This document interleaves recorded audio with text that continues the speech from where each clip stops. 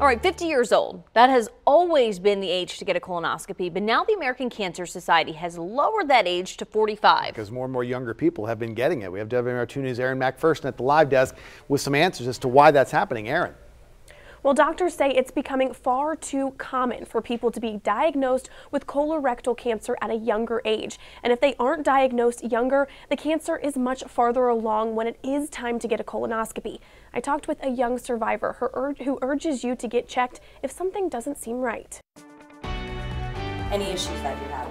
Adam Young meets with his oncologist, Dr. Pallavi Kumar, at MedStar Franklin Square Medical Center. It's been two years since he was diagnosed with stage 3 rectal cancer, now cancer free. After all of the treatments, you get a scan that comes back clear. Like, that was kind of, for me, when I kind of breathed a little bit. A sense of freedom that took a lot to get to. He was diagnosed when he was just 32 years old, after showing only one symptom blood in his stool.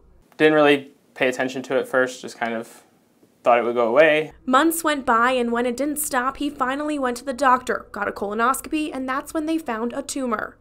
I mean, it was devastating. It was just panic. I mean, I have a family and, you know, two little kids. Like, probably the worst part about the whole experience is that first blow of the of the diagnosis because then there's just all these questions and there's no answers. But we really have to know the personal story of each and every patient. We have to know the size of the tumor, the stage, those types of things will dictate their treatment. He wound up getting chemo and radiation at first to shrink the tumor, then surgery to remove it, and finally more chemotherapy.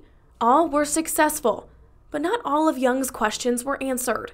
Why me? Like, you know, the, the odds you know, it's like the opposite of winning the lottery. Like, what are the odds that it would happen to you? And that's why I think like ignoring the symptoms from the beginning because it can't be anything serious like that. It doesn't happen. Like you don't get you don't get rectal cancer at 32 years old, um, but somebody does. With an increase in younger patients diagnosed with colorectal cancers, doctors are looking into why and how. I think a couple of things they've been exploring is, you know, sort of better understanding tumors, like looking at molecular features, mutations, to better understand if there's a difference between younger patients and older patients.